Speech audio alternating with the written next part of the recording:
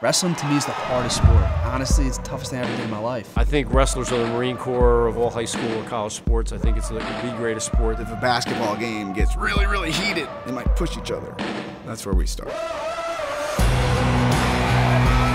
I couldn't imagine doing it with with a handicap or disability, and you know, in Anthony's instance, you know, being blind. Kids never expected it because they were wrestling a blind kid. They thought it'd be like a joke and I got a phone call. We will not be able to accommodate him academically or environmentally. They unaccepted Anthony or rejected him after he'd already been accepted. Not going somewhere we're not wanted. So he's been dealing with that, the haters of the world, because of the way that he has to wrestle.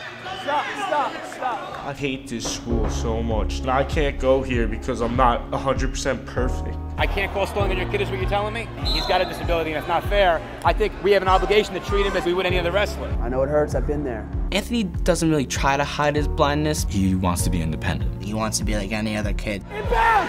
On the way! That's two!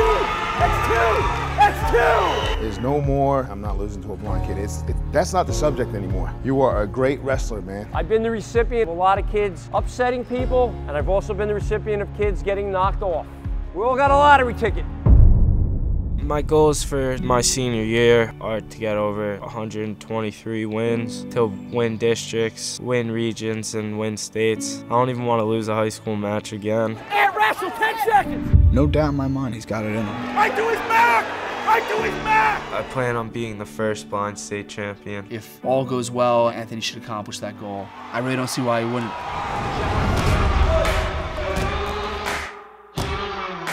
Come on, come on.